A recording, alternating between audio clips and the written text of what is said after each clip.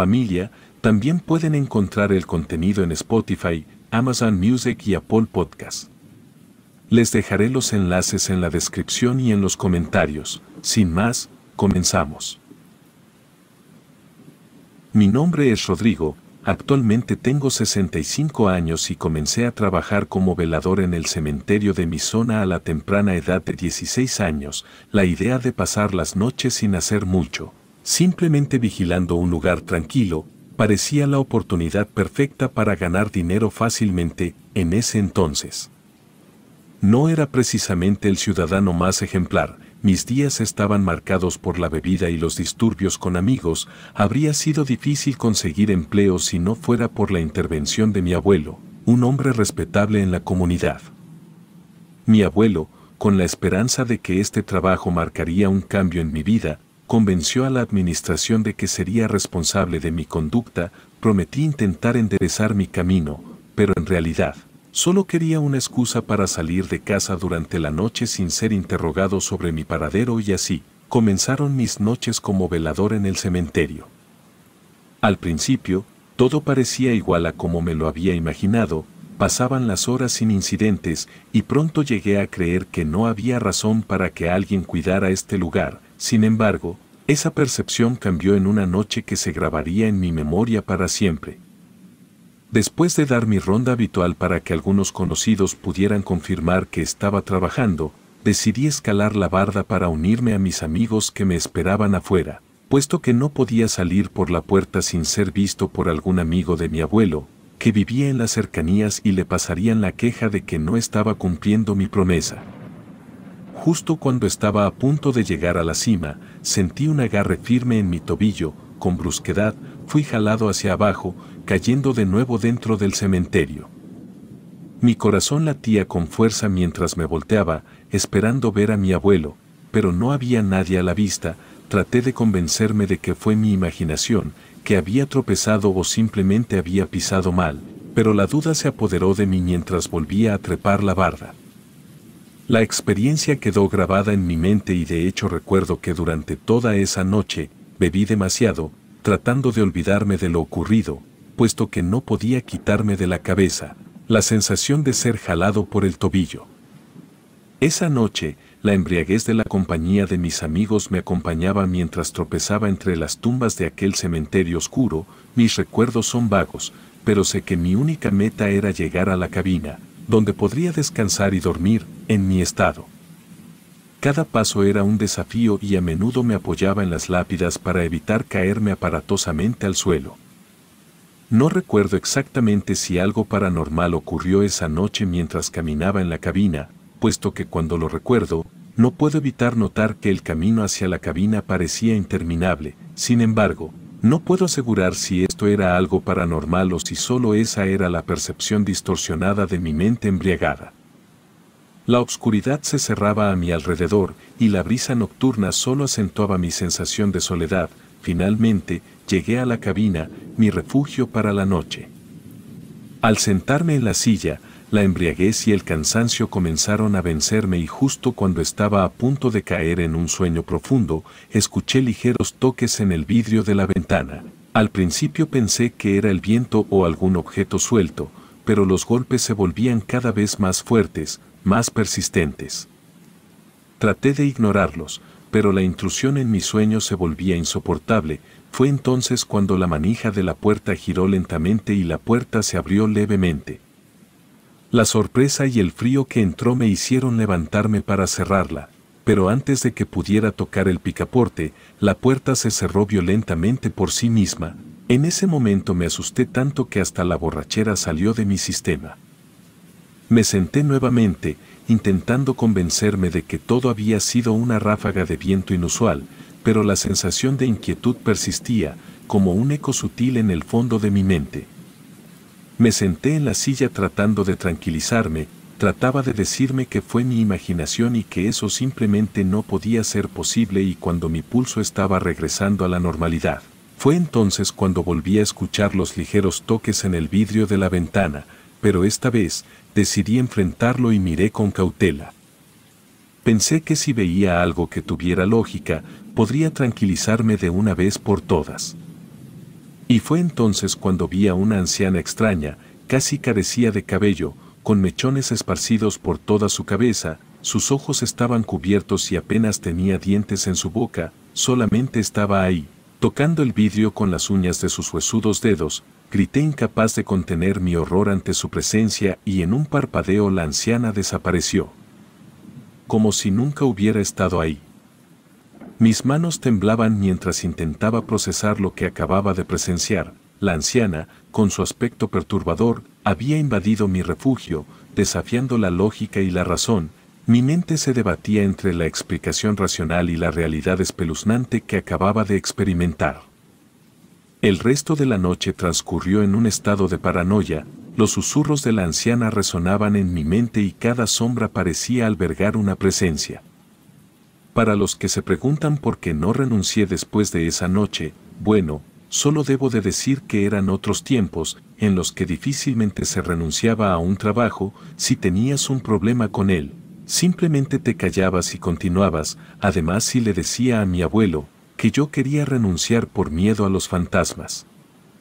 Simplemente no me hubiese creído y me obligaría a seguir, así que prácticamente estaba encadenado a ese lugar. De las diferentes cosas que me ocurrieron ahí, existe un evento que por alguna razón me da más compasión que miedo y es la historia de un pequeño que murió tan joven, que algo dentro de mí me dice que no está listo para despedirse de este mundo terrenal, yo vi cuando le hicieron su servicio funerario y también lo vi después de que fue enterrado. Aquella noche estaba luchando por mantenerme despierto, comencé a escuchar risas infantiles que resonaban en la quietud del cementerio. Decidí salir de la cabina para enfrentar a quienes pensaba que estaban perturbando el descanso de los muertos. Con mi linterna en mano, me aventuré en la oscuridad, esperando descubrir a algún grupo de jóvenes traviesos, aunque sí pasaban cosas paranormales. Por lo general todo tenía una explicación y la presencia de adolescentes tonteando eran bastante comunes. Pero al salir, no pude ver a nadie, no había nadie a la vista, y las risas persistían, como si se burlaran de mi presencia y aunque me intrigaba, no dejaba de considerar la posibilidad de que simplemente estuviera siendo engañado por mi imaginación o que alguien se hubiera escondido hábilmente. Al lanzar la advertencia de que el cementerio ya estaba cerrado y que debían abandonar el lugar, las risas no cesaron, sino que parecían intensificarse, con algo de molestia, me dispuse a buscar detrás de las tumbas, pensando que tal vez se estaban escondiendo ahí. Mientras avanzaba entre las lápidas, reiteré la advertencia de que debían irse antes de que llamara a la policía o a sus padres. Sin embargo, en ese momento, vi a un niño pequeño asomándose por detrás de una de las tumbas. Su figura era apenas visible en la oscuridad, pero su presencia era innegable. Me dirigí hacia él, insistiendo en que no podía estar ahí y que debía regresar a casa. El niño, en lugar de obedecer, comenzó a correr y sin pensarlo dos veces, comencé a perseguirlo, la situación era absurda, pero la sensación de que algo no estaba bien se apoderó de mí. El pequeño corría entre las lápidas con agilidad y a medida que lo seguía, me di cuenta de que su figura era más etérea de lo que debería ser.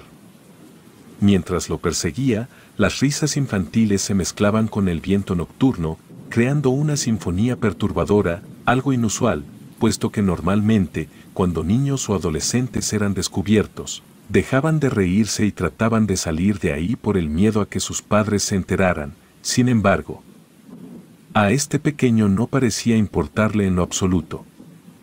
A medida que perseguía al enigmático niño a través del cementerio, la contradicción entre su actitud juguetona y mi propia confusión generó un sentimiento de desconcierto que no podía sacudir. Lo que resultaba aún más extraño era la falta de miedo en sus ojos, como si la noción de ser atrapado fuera simplemente un juego para él. La frustración se apoderaba de mí, mientras corría tras él, creyendo que finalmente lo tenía acorralado. Sin embargo, el niño, con una agilidad que desafiaba las leyes de la realidad, llegó a una tumba aparentemente sin salida y entonces, para mi horror, se recostó sobre la tierra y se hundió en ella, como si estuviera regresando a su ataúd. La visión me aterró en el momento, pero con el paso del tiempo, llegué a la conclusión de que aquel pequeño no estaba preparado para haber muerto tan joven, su espíritu lleno de vitalidad infantil, se aferraba al mundo de los vivos, corriendo entre las tumbas como si aún estuviera disfrutando de la vida que le fue arrebatada prematuramente. Aunque sus apariciones a veces eran inquietantes, llegué a comprender que el niño no representaba ninguna amenaza, más bien, su presencia se convirtió en un recordatorio constante de la fragilidad de la vida y las historias truncadas que yacen en cada tumba del cementerio. Existe un tema que me gustaría tocar, algo que si bien podría considerarse paranormal, bastante a menudo son solo personas jugando, con cosas que no comprenden y esto también es algo que pasa mucho más frecuente de lo que muchas personas podrían llegar a imaginar y aunque solo puedo hablar por mi experiencia. Casi podría asegurar que ocurre en todos los cementerios del mundo. La práctica de la brujería no solo es común, sino que también está a menudo impregnada de peligro y actos repugnantes, Aquellos que se entregaban a estos rituales a menudo eran mucho más despiadados que las almas en pena que deambulaban por el camposanto. Me enfrenté a escenas grotescas de animales sacrificados, sangre derramada en el nombre de oscuros conjuros y cánticos que resonaban con una malevolencia inquietante. Pero una de las cosas más repugnantes, al menos hablando del maltrato animal, fue una noche en la que presencié a un grupo de individuos llevando a cabo una ceremonia que involucraba a un sapo. Esto lo descubrí después de llamar a la policía y que todos se dispersaran, vi que algo se movía entre la tierra suelta y ahí fue cuando lo encontré. Mi mente fue más allá de cualquier horror que hubiera imaginado. El pobre sapo había sido cruelmente maltratado, su boca cosida para contener fotografías y símbolos dentro de la misma, en una grotesca muestra de brujería, lo más asqueroso es que este pobre animal aún seguía con vida. Esta situación, creo que fue algo que me marcó y me hizo darme cuenta de la enorme podredumbre que existe en el mundo, para quien le interese, lo llevé con un veterinario que lo curó y por lo que después me enteré, el mismo veterinario le encontró un dueño, con el cual vivió en paz hasta el último día de su vida, así que al menos eso terminó bien. Hubo otro incidente que marcó un punto de inflexión en mi escepticismo, aunque durante años creí que la brujería era simplemente superstición, la realidad se me reveló de manera cruda y brutal. La línea entre lo que consideraba lógico y lo sobrenatural se contradijo aún más y la oscuridad que se escondía entre las lápidas del cementerio se volvió más palpable que nunca. Creo que lo que estoy a punto de relatar es lo más aterrador y extraño que me ha ocurrido trabajando ahí y de hecho, fue la única vez en la que realmente me planteé la idea de dejar de trabajar en ese lugar. Esto pasó hace más o menos tres años, fue durante la pandemia, por lo que gente entrando al cementerio después de la hora era prácticamente nula, pero las muertes iban en aumento. Esa noche yo estaba en la cabina contestando un crucigrama, cuando escuché algo que no era nada normal escuchar por ahí. El llanto de un bebé y se escuchaba demasiado cerca como para que fuera solo alguien que estaba pasando cerca del cementerio, por lo que me dispuse a investigar. Mientras me aventuraba por el cementerio, en busca del origen del misterioso llanto de ese bebé, la atmósfera se cargó con una tensión palpable. La obscuridad se hacía más intensa sobre las lápidas y mis pasos resonaban en el silencio roto solo por el llanto desgarrador. Sin embargo, la sorpresa estaba lejos de acabar. En medio de la penumbra, entre las tumbas, vislumbré una sombra en movimiento, mis sentidos se agudizaron cuando comencé a percibir gruñidos, sí, gruñidos que resonaban de manera inconfundible, como los de un jaguar. En ese momento, la realidad se distorsionó, ya que no había explicación lógica para la presencia de un jaguar en ese lugar. Lejos de su hábitat natural. Mis manos temblaban mientras alumbraba en la dirección de aquellos sonidos animales, la luz de la linterna reveló una figura oscura que se desvanecía en las sombras, la criatura, aunque solo pude observarla brevemente, tenía la elegancia y ferocidad de un jaguar pero algo en su presencia desafiaba la lógica y sembraba la semilla de la inquietud en mi mente. Sin perder tiempo, llamé a la policía, relatándoles lo que mis ojos incrédulos habían presenciado, planeaba regresar a la cabina y refugiarme hasta que la ayuda llegara, pero lo extraño no terminaría ahí. Justo cuando estaba a punto de retirarme, el llanto de un bebé resonó nuevamente en la quietud de la noche, el sentido de la responsabilidad y la preocupación se apoderó de mí, y decidí seguir los lamentos del pequeño con la esperanza de encontrar y rescatar a aquel ser vulnerable. Caminé entre las lápidas, cada paso resonando en la penumbra, pero algo extraño ocurrió. A medida que me acercaba al llanto, éste parecía desplazarse, como si la fuente se moviera constantemente en un juego cruel de escondite. La familiaridad que tenía con el cementerio se desvaneció y la desorientación se apoderó de mí, era como si las tumbas se hubieran reorganizado en la oscuridad, desafiando mi conocimiento previo del terreno. A pesar de la confusión, la determinación de encontrar al bebé me impulsó a seguir adelante. Finalmente, entre las sombras, divisé a un pequeño niño, yacía en el suelo, visiblemente herido, con pequeños cortes marcando su frágil cuerpo.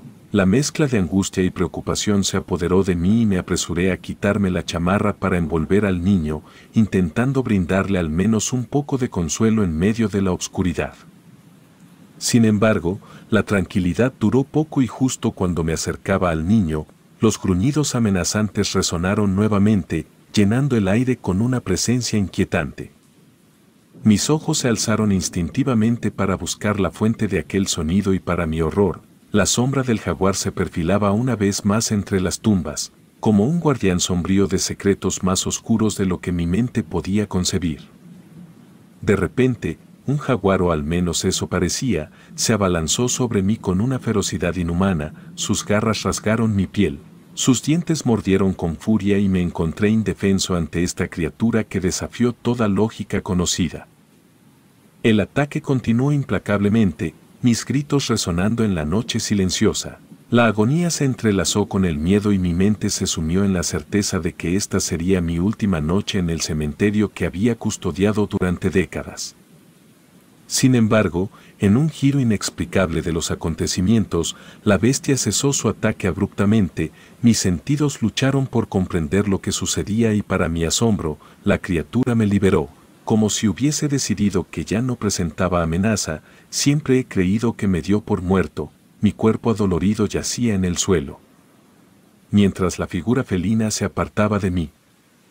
La siguiente escena, sin embargo, superó cualquier horror que había experimentado hasta ese momento, en lugar de retirarse en las sombras como un jaguar, la criatura se transformó ante mis ojos incrédulos. La piel del felino se desgarró como si fuera un disfraz, revelando una figura humana.